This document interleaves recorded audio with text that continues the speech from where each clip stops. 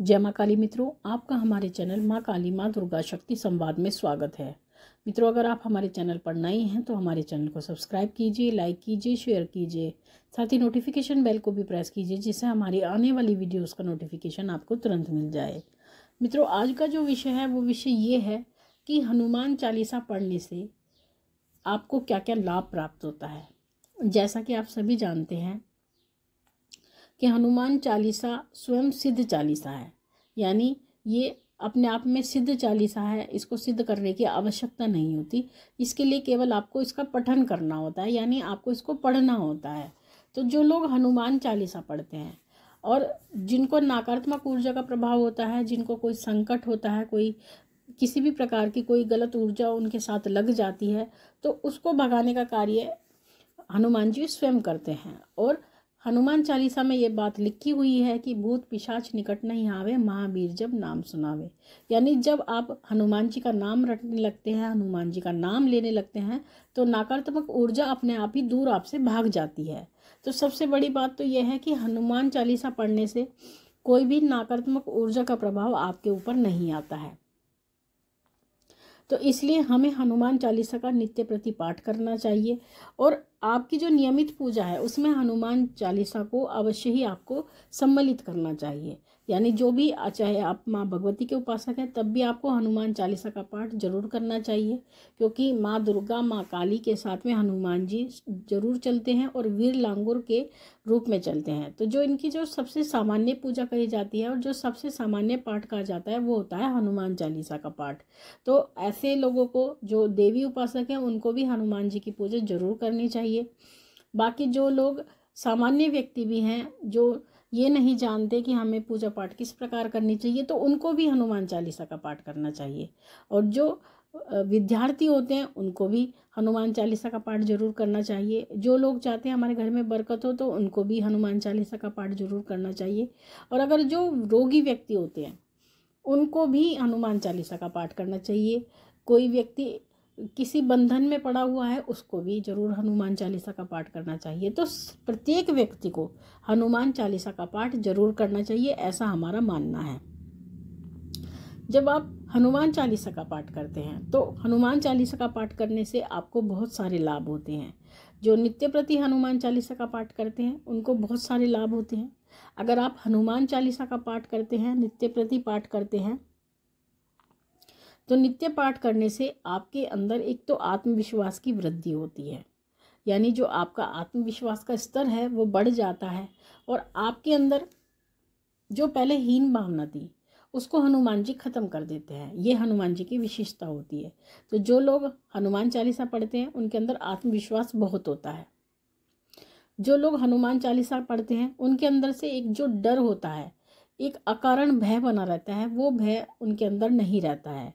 यानी वो निडर हो जाते हैं। और उनके अंदर अपने आप ही साहस बढ़ने लगता है। वो हर परिस्थिति को भी झेल लेते हैं और जो एक अनजान सा डर होता है, जिस कारण से कुछ व्यक्ति ऐसे होते हैं जिनकी मानसिक स्थिति ये हो जाती है कि कुछ होने वाला है, कुछ बुरा होने वाला है। ये जिनको भूत प्रेत से डर लगता है, उनको ये लगता है कि हमारे आसपास कोई है। तो इस प्रकार का जो डर होता है, उससे भी वो बाहर निकल जाते हैं और उनके अंदर सांस की बढ़ोतरी होने लगती है। बुरी नकारात्मक शक्तियों जो आपको परेशान करती हैं, ऊपरी बाधा, भूत प्रेत, उनका प्रभाव आपके ऊपर बिल्कुल नहीं पड़ता है। अगर कोई नकारात्मक ऊर्जा भी होगी तो वो आपके ऊपर कोई भी प्रभाव नहीं डाल सकती। आपके बराबर से निकल जाएगी, लेकिन आपको ना ही डरा सकती है और ना ही आपके शरीर में प्रवेश कर सकती है। ये हनुमान चालीसा का पाठ करने वाले व्यक्ति की विशेषता होती है। अगर आपके जीवन में कोई बंधन लगे हुए हैं, अगर आपके ऊपर किसी ने बंधन लगा रखा है, आपके काम को बाँध रखा है या आपके शरीर का बंधन कर रखा है तो वो बंधन भी हनुमान चालीसा के पाठ से स्वयं ही कटने लगता है। इतना प्रभाव हनुमान चालीसा का होता है। अगर आप किसी रोग से ग्रसित हैं, आपको कोई बीमारी लगी हुई है तो ऐसे व्यक्तियों को भी नित्य प्रति हनुमान चालीसा का पाठ करना चाहिए। जैसे जैसे आप हनुमान चालीसा का पाठ करेंगे वैसे वैसे आपकी काया निरोगी होने लगेगी। क्योंकि हनुमान चालीसा में खुद लिखा है, नासे रोग हरे सब पीरा, जो सुमिरे हनुमत वीरा। यानी आपके रोग और जो भी आपकी व्याधि लगी हुई है, वो अपने आप स्वतः ही खत्म होने लगती है, अगर आप हनुमान जी का ध्यान करते हैं। हनुमान जी बल बुद्धि देने वाले हैं। तो अगर आप हनुमान चालीसा का नित्य प्रति पाठ करते हैं तो आपके अंदर बल बढ़ने लगता है, आपकी शारीरिक ऊर्जा बढ़ने लगती है, आपके अंदर मानसिक ऊर्जा की वृद्धि होने लगती है, यानी आपका जो बौद्धिक स्तर है वो उच्च होने लगता है। आपको विद्या प्राप्त होने लगती है, आपको ज्ञान की प्राप्ति होने लगती है।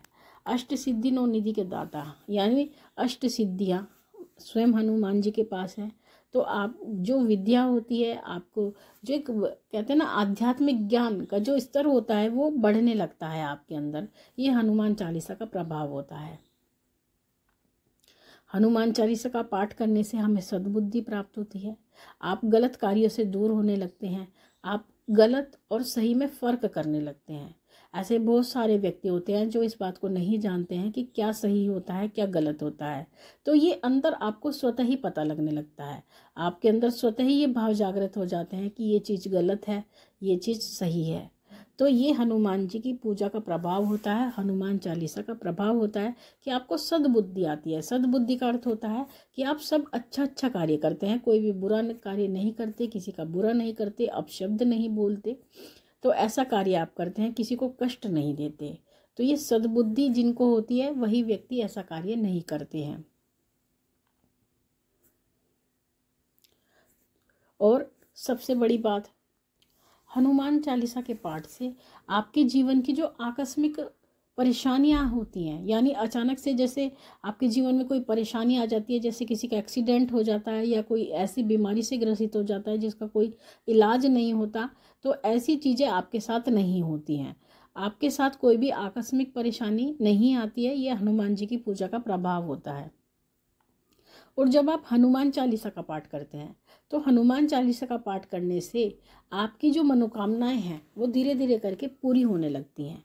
जैसे आपने कोई इच्छा मन में रखी हुई है तो वो इच्छा आपकी स्वतः ही पूरी होने लगती है। अगर आपके पास उस इच्छा को पूरी करने का मार्ग भी नहीं है तो वो मार्ग भी स्वतः ही बनने लगता है। जैसे कि आपकी कोई इच्छा है, कोई धन से संबंधित इच्छा है तो धन भी अपने आप ही आने लगता है, भले ही उसका कोई मार्ग ना हो, वो मार्ग भी बन जाता है, धन भी आने लगता है। तो इस प्रकार से हनुमान जी की पूजा का इतना बड़ा प्रभाव होता है। तो सभी व्यक्तियों को अपनी नित्य प्रति की पूजा में हनुमान चालीसा को अवश्य ही शा, शामिल करना चाहिए और जितना हो सके। अगर आप ज़्यादा परेशान चल रहे हैं ज़्यादा किसी नकारात्मक ऊर्जा के प्रभाव से ग्रसित हैं तो आपको हनुमान चालीसा के साथ साथ हनुमान अष्टक बजरंग बाण का पाठ ज़रूर करना चाहिए और हमेशा एक बात का ध्यान रखें जब भी आप हनुमान चालीसा करें। उससे पहले आपको श्री राम और माँ सीता का ध्यान अवश्य करना चाहिए। हो सके तो दो माला सीताराम की हनुमान चालीसा से पहले ज़रूर करें। अगर माला नहीं है तो कर माला से, यानी उंगलियों पर ग्यारह इक्कीस बार सीताराम का जाप अवश्य करें, क्योंकि बिना सीताराम के जाप के हनुमान जी अपनी पूजा नहीं लेना चाहते हैं। तो वो सबसे पहले यही कहते हैं कि मुझसे पहले आप श्री राम की पूजा कीजिए, जो मेरे आराध्य हैं। उसके बाद ही मैं आपकी पूजा ग्रहण करूँगा। तो सबसे पहले आप सीताराम जी की पूजा करें, उसके बाद हनुमान चालीसा का पाठ करें। तो मित्रों, ये थी जानकारी। आप सभी के लिए माँ भगवती से यही प्रार्थना करती है कि वो आपके भंडारे भरती रहे, आपकी सभी मनोकामनाओं को पूर्ण करती रहे, आप पे अपना पूर्ण आशीर्वाद बना के रखिए।